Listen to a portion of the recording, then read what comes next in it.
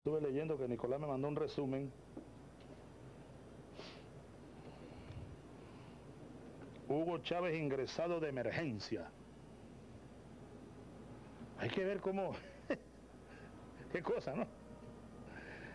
Qué cosa, dice... Claro, este parte de un laboratorio, un laboratorio, y luego esto ahora, bueno, corre, corre por el mundo en cuestión de segundos. Y empieza mucha gente a preocuparse, ¿será verdad? Se crea la duda, la incertidumbre. Empiezan amigos a llamar para acá, presidentes incluso, o a llamar a nuestros embajadores en tal parte. Mire, presidentes llamando directo a embajadores, ¿no? Aquí llaman mucho, llama al pueblo ni se diga. ¿eh? Pero es parte de una campaña, de una campaña. Y muchos medios de comunicación aquí representados se prestan para la campaña. Una cosa como morbosa. Morbosa. Es morbosa. Grosera, inhumana. Pero bueno, así está el mundo, ¿no? Así está el mundo, Nicolás. Qué buena lectura hiciste de la carta que, que mandé a Naciones Unidas ante mi, la imposibilidad de asistir. Pues me hubiese gustado ir, pero bueno, bien representado por Nicolás. La carta termina con aquella, aquel verso de Ali Primera. Ayudemos a que sea más humana la humanidad. Paz, queremos paz. ¿Cómo queremos paz? ¿Cuál paz? ¿Cuál paz si no queremos cambiar el mundo? Si queremos dejar al mundo como está. El mundo está loco, loco sobre todo los que tienen más poder en el mundo. Una locura se apoderó de, esos espacios y de esos actores. Y esa locura corre por los medios de comunicación y parece que no hay quien la pare. Y ustedes a veces atizan la locura. A veces inconscientemente. Ahora, qué bueno que asuman a conciencia lo que hacen muchas veces. La locura.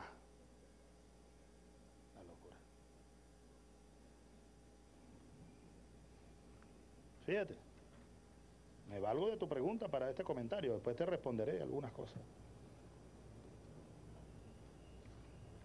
Presidente venezolano Hugo Chávez fue ingresado, esto lo dice un diario, un periódico, no sé qué periodista firma esto, a lo mejor nadie.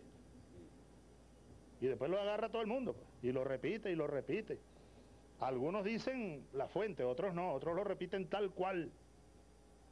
Exactamente presidente venezolano Hugo Chávez fue ingresado de emergencia en el hospital militar y sus doctores consideran, consideraban el miércoles la posibilidad de trasladarlo al privado hospital de clínicas Caracas, donde podría ser mejor tratado de problemas de insuficiencia renal, dijeron fuentes cercanas a la situación. Fuentes cercanas. Nadie dice quién ni dónde. Cercanas las fuentes que hablaron bajo condición de anonimato, vaya, qué originalidad, señalaron que el gobernante ingresó el martes en la mañana en el centro hospitalario militar tras sufrir un desequilibrio general de su estado físico. Eso sería, habría sido, hoy es jueves, antier en la mañana. Comilla, están citando aquí a alguien, a la fuente, ¿no? Se encontraba en un estado general comprometido, dijo una de las fuentes, que vio, vio cuando ingresó al hospital militar, vio, comilla, cuando llegó se encontraba bastante grave. Y fue por eso que lo tuvieron que traer de emergencia. Cierre comilla. Otra de las fuentes lo vio en mal estado cuando salió desde el palacio otra fuente me vio salir de aquí en mal estado, rumbo al hospital militar. Es como una novela, pues. Este, el cual fue tomado de inmediato por integrantes del cuerpo de seguridad del mandatario. No se entiende muy bien que fue tomado, ¿no? Ah, el hospital. El cual fue tomado de inmediato por integrantes del cuerpo de seguridad del mandatario. Las autoridades venezolanas han instaurado un férreo hermetismo en torno a la salud del mandatario, quien retornó el jueves en la noche de La Habana tras ser sometido a una nueva ronda de quimioterapia para tratarse el cáncer que padece. Pero la fuente del hospital militar dijo que Chávez mostraba un cuadro general de descomposición producto del intenso ciclo de quimioterapia al que había sido sometido y que presentaba señales de insuficiencia renal que requiere de diálisis.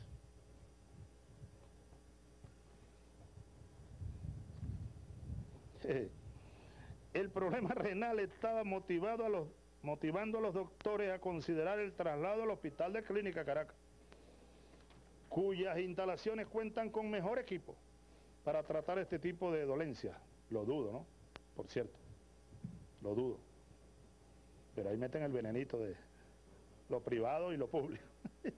Pero mejor que el hospital militar, difícil, para cualquier dolencia. Por otro lado, la fuente dijo que el mandatario presentaba un cuadro de aplasia medular, la desaparición de las células encargadas de la producción de la sangre en la médula ósea, que estaba complicando su cuadro médico.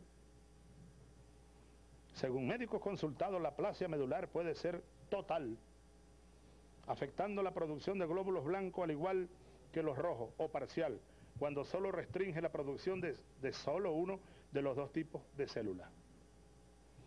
El cirujano Gustavo León, quien ejerce la profesión desde hace 30 años en Miami, dijo que los ciclos de quimioterapia pueden provocar la aplasia medular, así como problemas de insuficiencia renal. Esto es cierto, puede provocar. Solo que a Tribilín no le provocó nada de eso. y ojalá que a nadie le provocara eso. Pero a mí ni el apetito se me quitó, pues, que era una de las cosas que me alertaban. Mire, estoy comiendo, mire, ya llegué a 90 kilos, Eva. Estoy preocupado porque ya llegué a 90 otra vez. Yo estaba en 84. Claro, no estoy haciendo mucho ejercicio. Estoy haciendo pero suave. Cuando empiece a correr y a batear y a robarme la segunda base. Nicolás, ¿cuánto estás ahorita? Bajaste, ¿no? Bajaste. Bajó cuatro, Nicolás, porque ya dejó de comer los submarinos. Ajá. Anoche comimos y comimos pescado, ¿verdad? Sí, y, y, no, yo le di chance a Nicolás anoche, le dije, Nicolás, tú no tienes por qué seguir mi dieta, porque estábamos anoche analizando varias horas, como tres horas. Me estaba él informando, pues, de, todo lo de Nueva York y las reuniones, los mensajes que enviaron, eh, compromisos asumidos, reuniones que tuvo allá con muchos grupos presidente, mi canciller. Entonces llegó la hora de la cena y me traen mi dieta, pues, pescado con ensalada, ¿qué más? Un puré y le digo, tú, tú no... Los tostones los pedí después. Ah, tostones agregados ahí. Y no, Nicolás disciplinado dijo, estoy con usted con la dieta. Le dije, si quieres un submarino, no, no, no. Sigue, sigue bien, sigue como va. Ajá. Sigo leyendo aquí la, la novela dramática esta de, mi salud. ¿Qué cosa? Hay gente que se divierte con esto, pero bueno, que se divierta. Lo, lamentable es que generan preocupación en no poca gente en este mundo, ¿saben? Porque no poca gente me quiere en este mundo. Y yo los quiero. ¿Ve? Bien. Entonces dice, este, lo que dice el señor este León, el doctor León, es cierto de manera general, pues, los ciclos de quimioterapia pueden provocar, pero ellos toman y le, insertan ahí una opinión seguramente seria, una opinión seria de un médico a quien no conozco. A lo mejor lo llamaron y piden opiniones. Pero el cáncer que padece el mandatario también podría ser el causante de la insuficiencia renal, agrega el, el artículo. También puede ser por obstrucción del sistema provocado por el cáncer, indicó León. La obstrucción del sistema urinario, pues. Dice, pudiera ser. Si continúa así, probablemente tendrán que someterlo aquí, si esto lo dijo el doctor, aquí sí está fallando gravemente desde el punto de vista ético, ¿no? Pero pudiera ser una manipulación de, de todos los que arman esto cuántas manipulaciones del que escribe, del que... ¿ah? Pero según esto, el médico habría dicho que si continúa así, probablemente tendrán que someterlo a diálisis. Ya me tienen en diálisis. Para poder quitarle las toxinas que el organismo no puede eliminar a través del riñón. Sería de los riñones, ¿no? León añadió que normalmente los problemas de insuficiencia renal provocados por el cáncer son irreversibles a, diferencia, de ser a diferencia, aquí dice a, a diferencia de aquellos casos en los que son provocados por alguna infección o alguna obstrucción pasajera, como el tema ese de la, los cálculos, por ejemplo, ¿no? Que a veces obstruyen y hay que operarlos o, disolverlos. Bajo un escenario de insuficiencia renal permanente, vean por dónde va la cosa, los pacientes son sometidos a un tratamiento de diálisis con una frecuencia de tres veces por semana. Los problemas de infección son comunes. Esto es dramático. ¿eh? Los problemas de infección son comunes en los casos de pacientes que son sometidos a quimioterapia debido a que el tratamiento puede afectar significativamente el sistema inmunológico. Es largo esto, una novela. Desde que comenzó el tratamiento, Chávez ha evitado el contacto físico con otras personas para reducir el riesgo de contagio. Yo lo he dicho, sí. Eh, eso es por ciclo. En este momento no. En este momento no. Pero hay días en que sí, eh, cuidado son ciclos. El mandatario no ha divulgado el tipo de cáncer que tiene, pregunta que tú me haces, ni su grado de severidad. Pero admitió en julio que el tumor que le extrajeron en La Habana tenía el tamaño de una pelota de béisbol. ¿Dónde está la pelota? Esa no es de béisbol, es calona. Ajá. Bueno, más o menos así, yo no lo vi, pero vi la de las imágenes.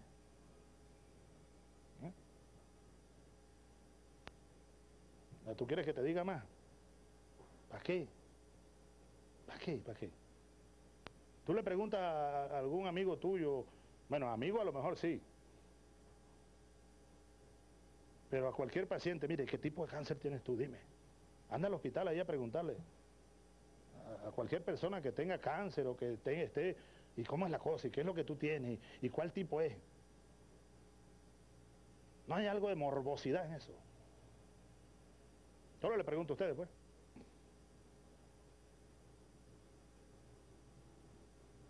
Cada quien haga la reflexión que tenga que hacer al respecto de esto.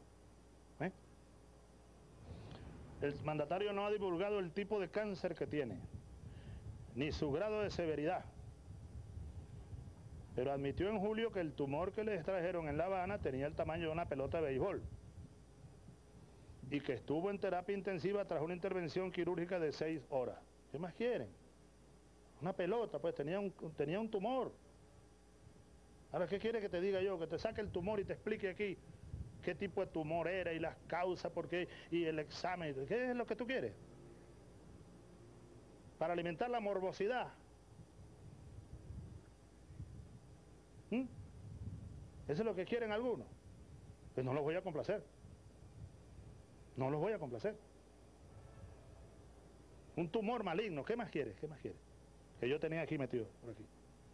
Lo extrajeron Afortunadamente, para los que me quieren y para mí, estaba encapsulado, ya lo he dicho varias veces. El cuerpo se fue protegiendo y era una pelota dura. Ah, hubiera pasado el tiempo, a lo mejor se rompe y ¿qué, es lo que pasa? Y, se, ¿cómo se llama? Produce metástasis, se, se, va por, por el, los canales eh, este, circulatorios y tal, y ataca a otros órganos cercanos o a distancia. Eso ocurre. En el caso mío, afortunadamente. Y, y, debo decirlo, gracias, entre otros, a Fidel, que insistió, insistió, insistió. Chávez, yo le decía a Fidel, yo tengo la cumbre de CELAC, tengo que cumplir con esa cumbre. Y le dije, después de esa cumbre yo me voy a hacer todos los exámenes. Él me convenció. Y al día siguiente me mostró la foto, mira la pelota que tienes ahí.